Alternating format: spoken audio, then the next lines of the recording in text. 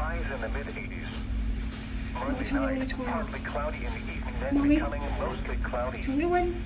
Tell me when my 30% weather is going showers Okay? and thunderstorms. Oh, here it goes.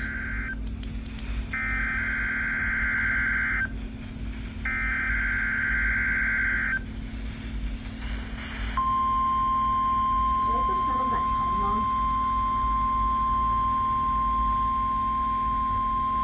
Mom, do you like the sound of the? The was a test of NOAA weather radio station WXL 46's warning alarm systems. Mm-hmm. During potentially dangerous weather situations, specially built receivers are automatically activated to warn of the impending hazard.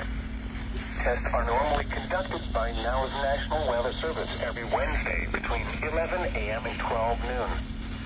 When there is a threat of or existing severe weather in the area on Wednesday, the test is postponed until the first good weather day. Reception of this broadcast and the warning alarm will vary from place to place.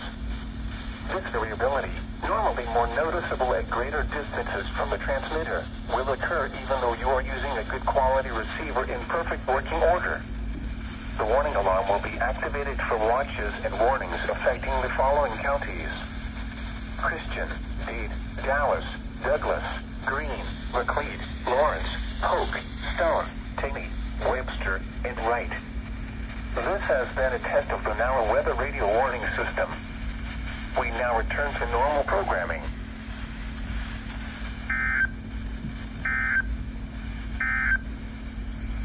Here is your National Weather Service forecast for southwest Missouri, including the cities of Springfield, Branson, communities.